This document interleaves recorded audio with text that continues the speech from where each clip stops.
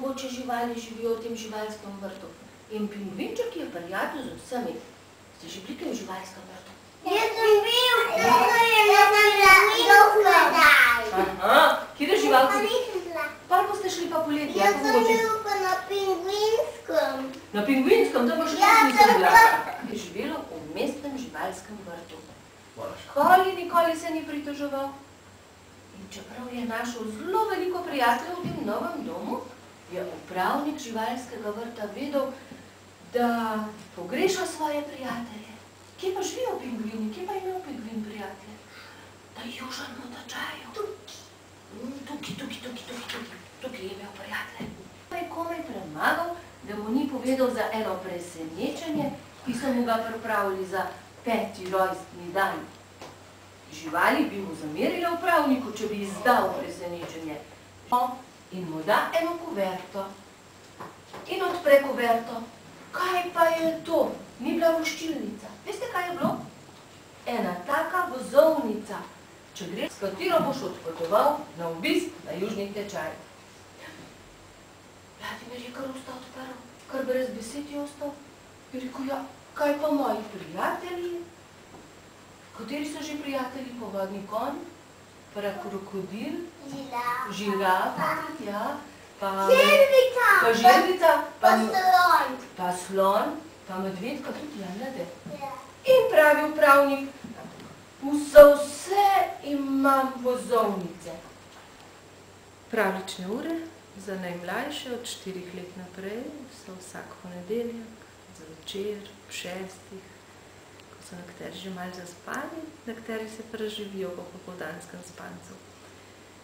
Različno število nas prihaja, največ nas je bilo že do 20, ponovadi je takole, šest, sedem otrok, kakšna mamica, oči ostane. Eh, Odvisno od tega, če se otroci dobro počutijo sami, potem sami, če jim malo skrbi, potem ostajajo odrasli z njimi. Pravljice pa nekako sledijo praznikom, letnim časom, razpoloženju, eh, razmisleku, vedno je treba malčko nagraditi. Kako?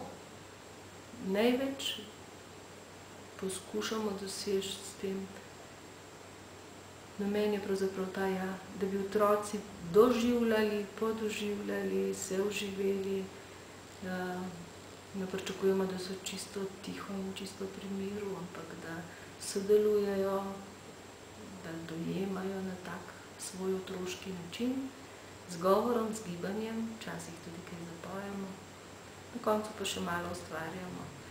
Čim manj pobarvank in čim manj šim- šablon, ampak tudi če rečejo, ne znam odstrišti, nekaj bo že odstrigel, ali ne znam barvati, nekaj bo že poskušati morajo eksperimentirati.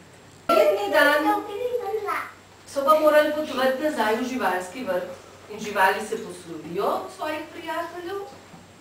In še Vladimir se zelo s težkim srcem poslavlja, se poslovi od prijateljev, od pingvinčkov, objame mamo in se poslavlja. Žirafa Fani deli vozovnice in da eno krokodilu in da eno želvici in eno ima za sebe in eno za medveda in eno za koga je še imela? Za polža.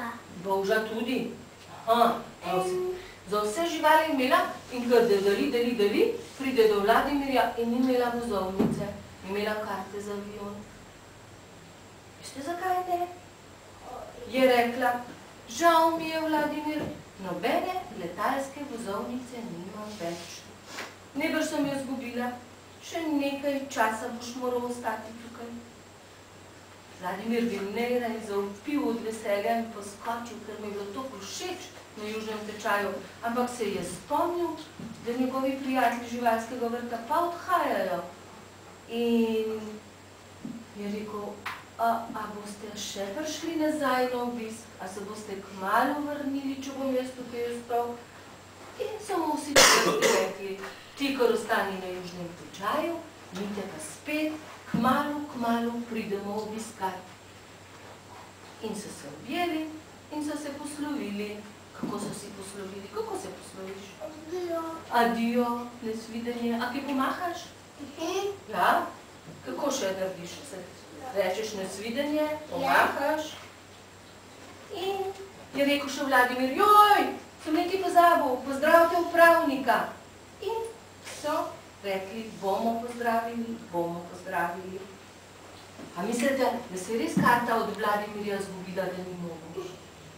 Ne, ne, ne. Upravnik živalskega vrta je že takrat, ko je kupoval karte za avion, kupil za vse do južnega tečaja, za Vladimirja pa ne za nazaj, je rekel, to bo najlepše darilo, če Vladimir gre nazaj domov na svoj južni tečaj, svojim prijateljem, pingvinčkom